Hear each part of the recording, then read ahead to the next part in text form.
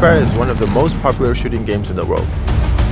And recently, we developed Free Fire Max as a separate app and upgraded the gameplay experience. This was a completely new concept for us. Every team that was involved had to pave new paths in their respective crafts. We optimized Free Fire Max according to our countless hours of FGD content.